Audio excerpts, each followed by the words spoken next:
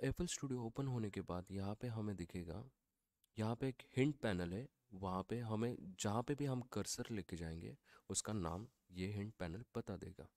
तो अगर मैं कर्सर यहाँ पे लेके जा रहा हूँ तो वहाँ पे दिखा रहा है प्ले लिस्ट यहाँ पे पियानो रोल ये है चैनल रैक और ये है मिक्सर फ़िलहाल के लिए हमें ये चार चीज़ें बहुत इंपॉर्टेंट है।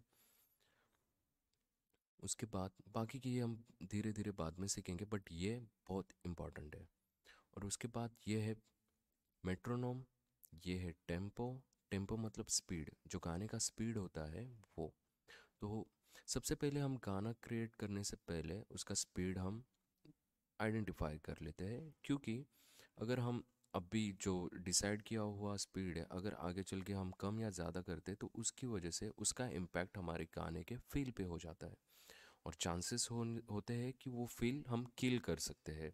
तो बाद में वो साउंड ख़राब साउंड करेगा बहुत तो उसके लिए बहुत इंपॉर्टेंट है सबसे पहले आप टेंपो उस गाने का आइडेंटिफाई कर सकते हैं तो सबसे पहले टेंपो आइडेंटिफाई कैसे करना है हम देख लेते हैं यहाँ पे राइट क्लिक कीजिए टैप पे क्लिक कीजिए सपोज़ कोई मेलेडी है आपके दिमाग में लाइक एग्ज़ाम्पल ना ना नर ना ना ना ना ना ना ना नर ना ना ना ना आपको सिंपली यहाँ पे क्लिक करते रहना है वन टू थ्री फोर ऐसे तो मेलोडी ऐसी है।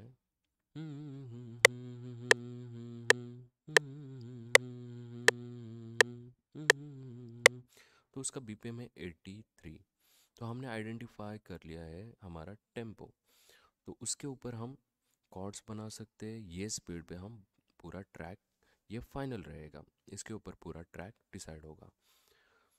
तो ये आज हमने सीखा टेंपो।